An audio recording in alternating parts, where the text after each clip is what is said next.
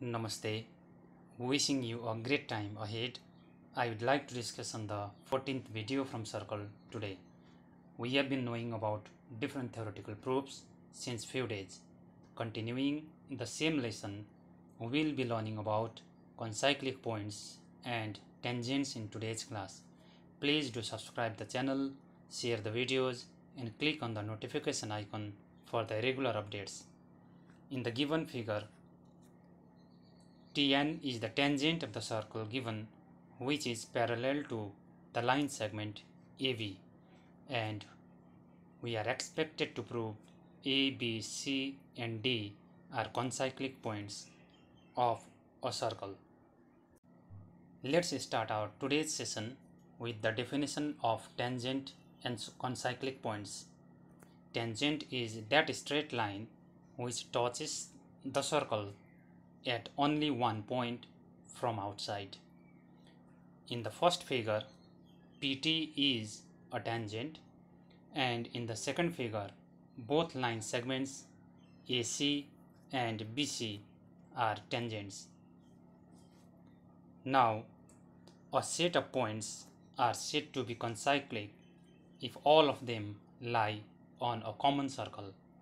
In other words, all concyclic points must be in equal distance from the center. In the given figures, two points can be concyclic if the given chord is a diameter. Three points or four points can be concyclic if all of them lie on the circumference of the circle as shown on the screen. Now, continuing the proof, we first draw the figure, mention the provided informations, and now drawing the statement reason table and studying the figure, we can write angle TSA is equal to angle SDC as angle TSA is made by the chord SC and angle SDC is made by the arc SC. We call this type of angles as the angles made by alternate segments which are always equal. Also, angle TSA is equal to angle BAS as they are alternate angles made by parallel line segments AB and TN.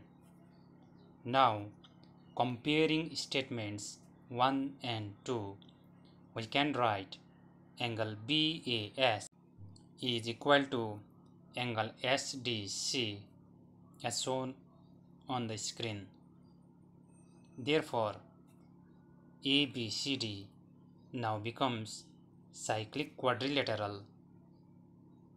Angle BAS being exterior angle of a cyclic quadrilateral ABCD and angle SDC being opposite interior angle with equal angular value.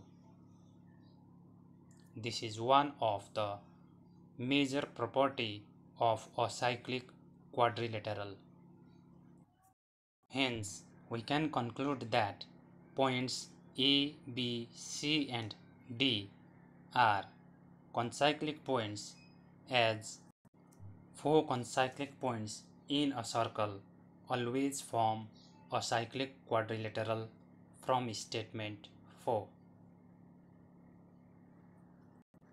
Hoping that it was a clear explanation for you.